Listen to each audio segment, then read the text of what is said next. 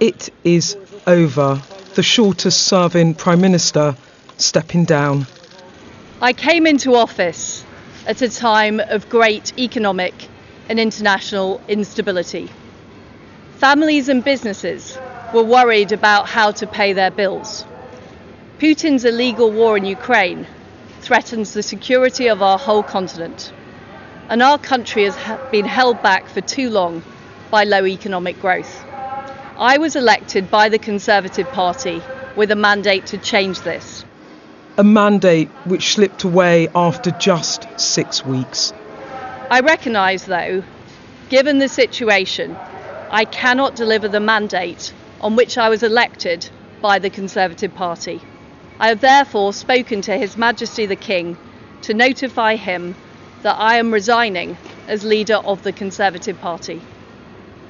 This morning I met the chairman of the 1922 committee, Sir Graham Brady. We've agreed that there will be a leadership election to be completed within the next week. I will remain as Prime Minister until a successor has been chosen. Thank you. Turning her back on an embattled premiership, only her husband by her side. This a very lonely way to leave. Sir Graham Brady, the man charged with the next steps. Here, please, Sir Graham. Here, please, Sir Graham. Setting out the direction of the party and country too. I have spoken to the party chairman, Jake Berry, and he has confirmed that it will be possible uh, to conduct a ballot and conclude a leadership election uh, by Friday, the 28th of October. So we should have a new leader in place before the fiscal statement, which will take place on the 31st. A new leadership contest, the second in four months, conducted at breakneck speed. This time next week, we'll have a new PM. For the press and the public too, it's bewildering. How disappointed are you in this? The public must be looking at this thinking, what on earth is going on? This is the governing party. Absolutely, and I, I think we're deeply conscious uh, of the imperative in the national interest of resolving this uh, clearly and quickly. By early evening, the detail coming to light. Conservative MPs have to decide fast. Uh, good afternoon again.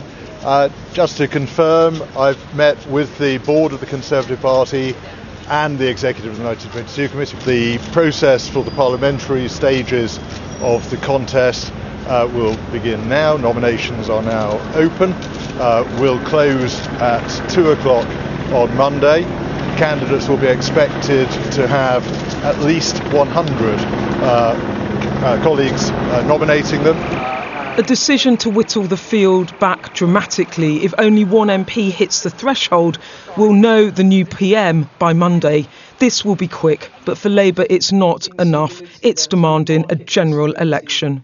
Sir Keir, you're calling for a general election, uh, but at a moment of acute instability, there has been market instability, uh, there's a cost of living crisis.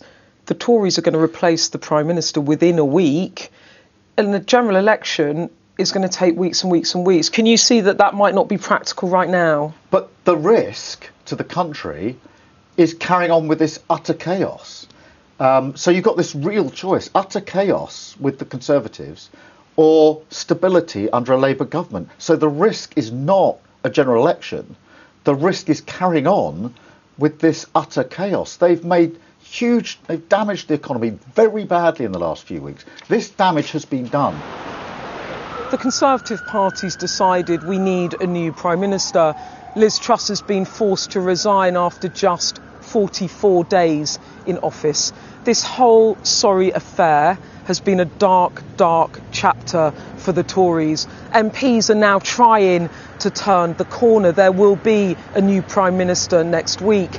But the party is having, in the words of one minister, a collective breakdown. And after two lots of vicious bloodletting, first around Boris Johnson and now around Liz Truss, you have to ask yourself whether a new leader can stop the rot. The sun setting on a deeply unsettling day in Westminster. In these tumultuous times, a nation awaiting leadership. Beth Rigby, Sky News, Westminster.